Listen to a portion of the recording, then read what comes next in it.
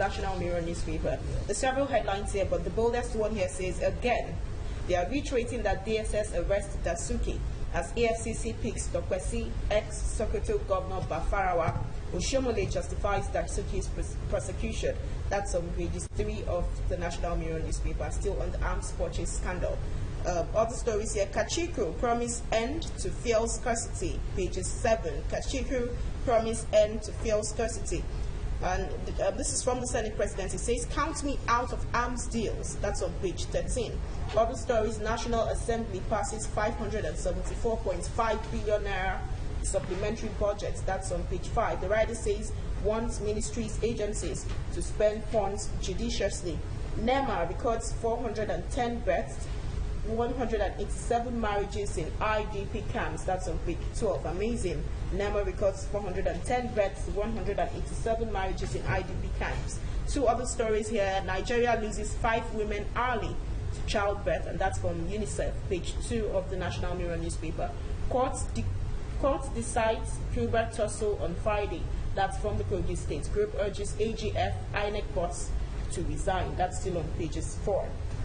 Kachikwu promises to end fuel scarcity. Fuel scarcity has been on the lips of virtually every Nigerian in the past weeks. I mean, in Lagos State, it's been very crazy. The queues haven't ended. The queues get tougher more challenging every day. I mean, this was part of the issues we had in the last administration. I'm, I'm sorry, I, I, almost could not complete my statements without making reference to the past administration because it was just a few months of handover. In this administration, too, the problems of fuel scarcity have persisted. Yesterday, lots of Nigerians took to social media to talk about power supply. Yes, the ministers have just been appointed. We need to give them time. But in all of this, where do you stand on both sides of the divide, especially in the fuel scarcity saga? it is very unfortunate that as a nation, we are still experiencing fuel scarcity up to today. I always say we are the number six uh, largest. Now, when uh, the doctor Kachikwu says, in a short while, fuel. How short is the while? How short is the while? That's number one. Number two, is it a short-term approach that you are using? The refineries are not working, and the refineries, as far as I'm concerned, will not work as far as they are being managed by the government. They will never work. If it works, it will not work at optimum capacity. The important thing is to have a long-term policy, open up the system, deregulate that sector. But that would take time, don't you think? Of course. That's a long-term plan. Of course. If we had done that since, by now we could have been we could have been reaping dividends. Yes. And there's this issue of the turnaround maintenance of the refinery. Is the turnaround Somebody was saying, what are they turning around? Because around the turnaround it looks It will not work. Okay. As long as it is managed by the government, go and write it down. But we were also told that those refineries we have now, they are obsolete. Outdated. Of course. Uh, they're outdated. So, so uh, why are you going to spend billions of dollars in turning it around? What are you turning? Okay, now let's assume uh, you're the Minister for Petroleum for just one week. Uh, what would you be uh, doing? That would be too short. well, the important thing is that we should look at deregulating the sector. The reason why we are having this scarcity is because of subsidy. Because we import almost 90% of the petroleum products and the landing cost is more than the regulated price. So that is why you now have to subsidize. Now, if you say you are not going to subsidize, how can I bring in a product and sell at a lower rate? No businessman will do that. But if you if you deregulate, uh, allow the market forces to play. If I bring in my product, if it is 100 naira and I sell 101 naira, that's mine. We know countries who are specialized in building refineries and um, some economic analysts have argued, have posited or suggested that why don't you allow these countries yeah. come into Nigeria, give them it, a time frame, build refineries. It is not just. It is not just a country. There are different types of refineries. You have the, the modular refineries, which are easier to set up. They are smaller, and then you have the other refineries that use the catalyst system.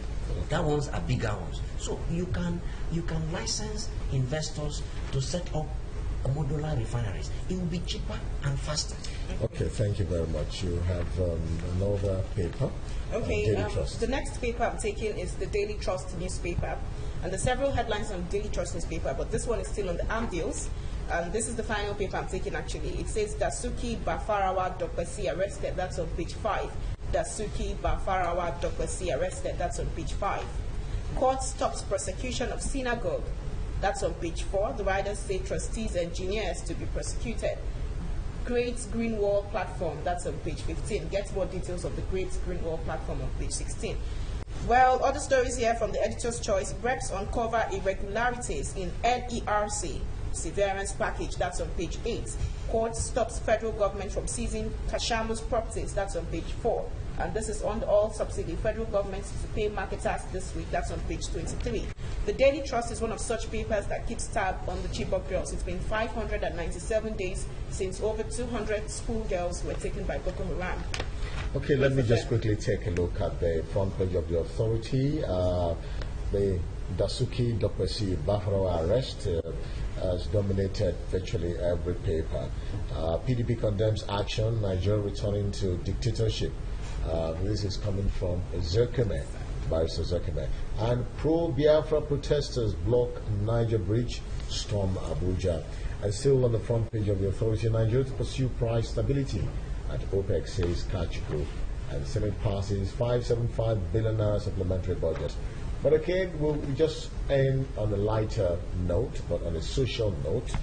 Um, 400 and, 410 births, 187 marriages, a record in IDPs camps. Uh, Prince is like, uh, they seem to be having a, a wonderful time.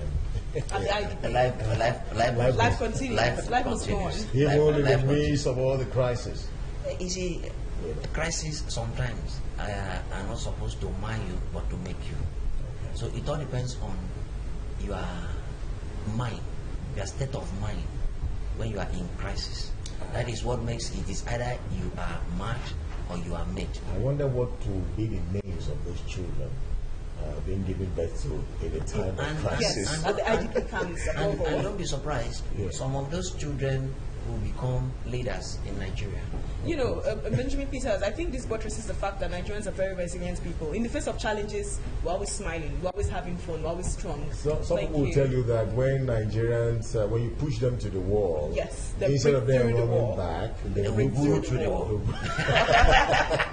They don't bounce back. Thank you very much. Thank So you very much, Princess.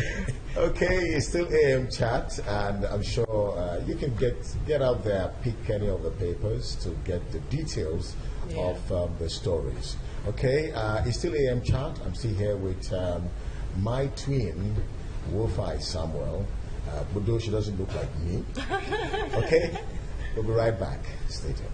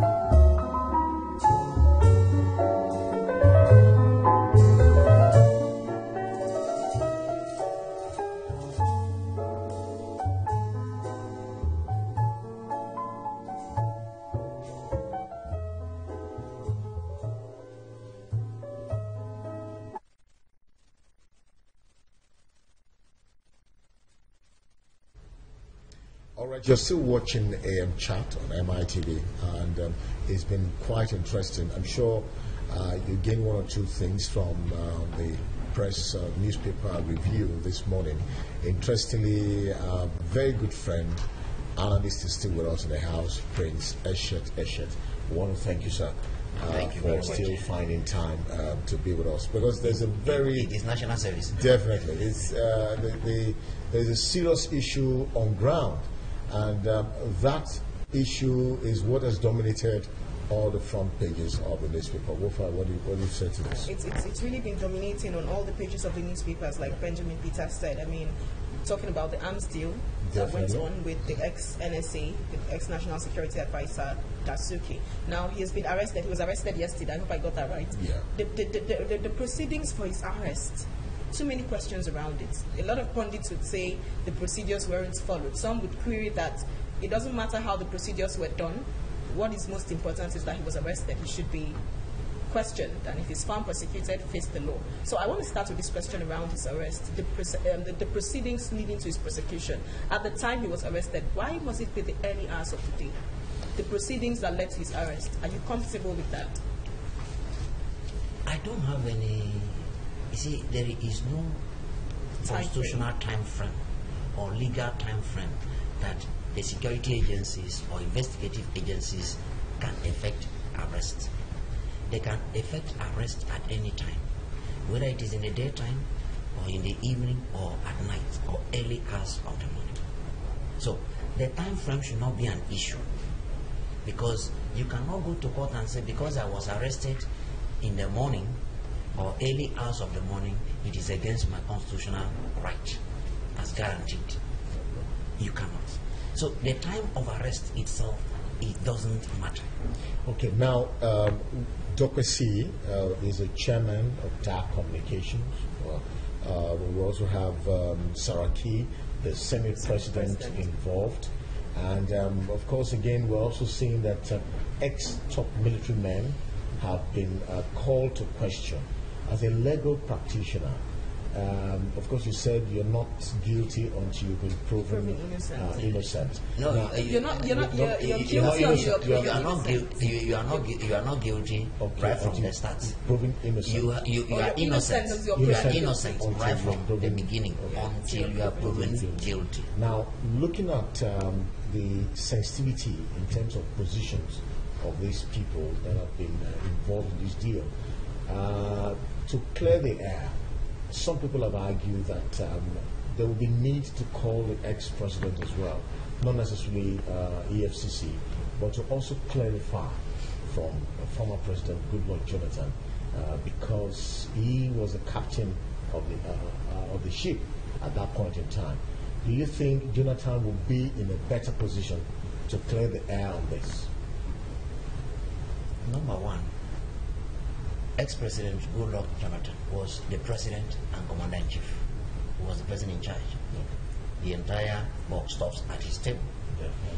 Now, but in running a government, it is not the president that does everything. It's not the president that does everything. Because this is a very sensitive issue. I'm coming. I'm coming. I will come to answer your question very politely. The president does not go out to do everything. People do other things depending on the offices they occupy. All right?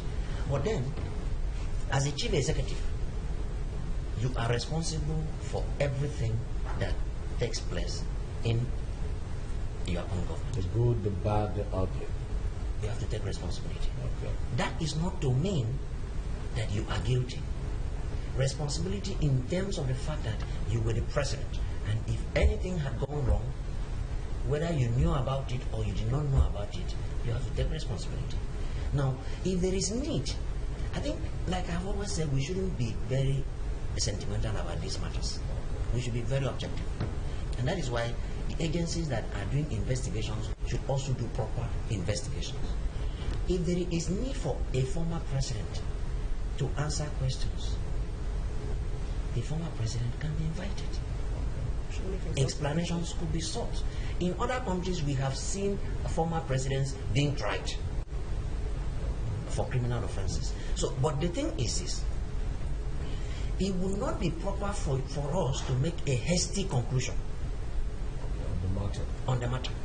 It is better for the necessary security agencies, investigative agencies, to investigate Get and get right. the facts right.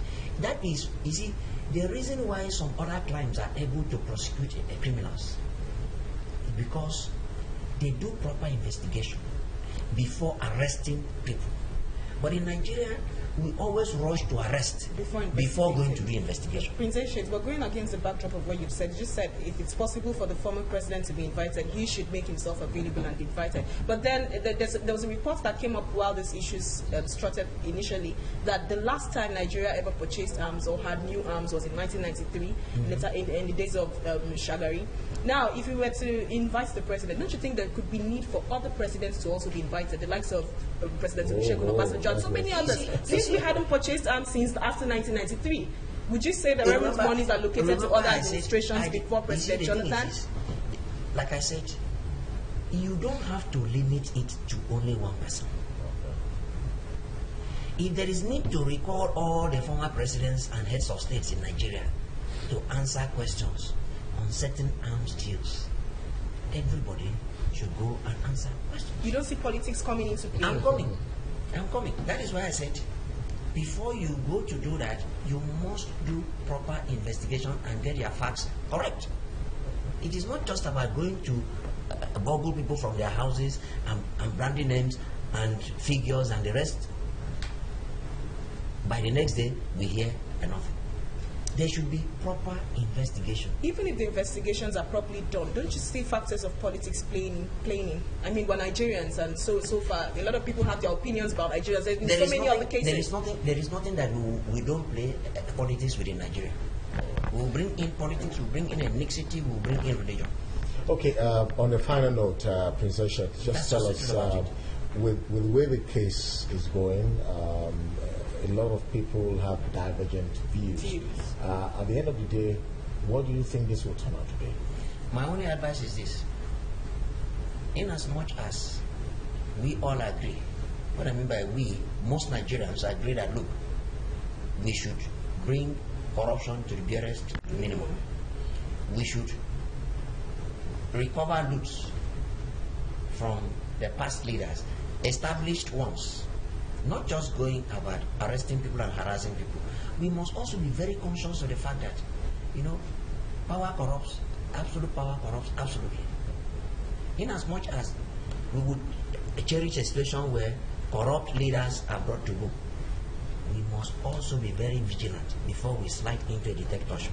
And that is the more reason why due process of law must be followed at all stages. All right, thank you very much, uh, Prince, uh, for your time. We quite appreciate. Thank you very It's still AM chat, and we'll be right back after this time out. And we understand um, our guests are around. Uh, we're taking uh, we're taking a look at um, the educational sector. We'll be right back.